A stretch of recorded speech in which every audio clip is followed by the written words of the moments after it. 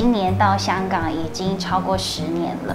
以前在台湾，呃，是做新闻记者，因缘际会，国泰航空去台湾招募，所以我就跟着国泰航空一起过来到香港落地生根。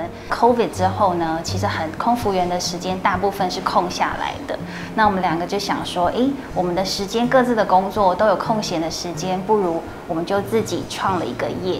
以前我小的时候啊，因为我家在南部，所以大家都很爱喝饮料，所以我们把爱玉子做成呃果冻类的，再加上台湾来的水果果汁，调和成为这个台湾的风味饮品。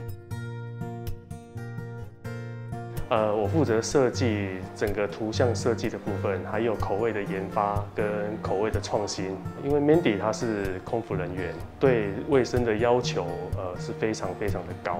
我们的 SOP 光是清洁就占了生产的很大部分。到差不多手工做一年的时候，就觉得这里一定要改变了。怎么改变？我们就上网找了很多很多的机器，中间也遇到很多很多困难。很多人都跟我说那个不行啦，做不了啦。只能纯一体啦，跟厂家研发了，来回沟通了很多，那终于可以找到一个适合爱玉罐装还有果汁颗粒罐装的机器，然后自己呃去一间一间店铺问说，请问你们喜欢这个产品吗？那现在你习惯吗？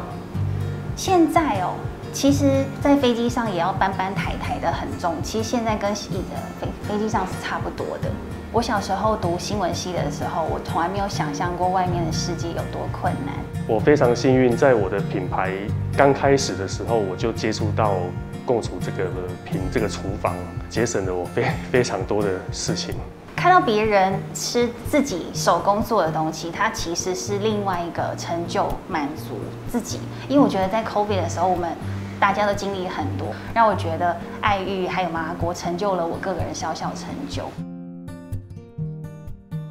我是 Henry，我是 Mandy，我是台客博士的创办人之一。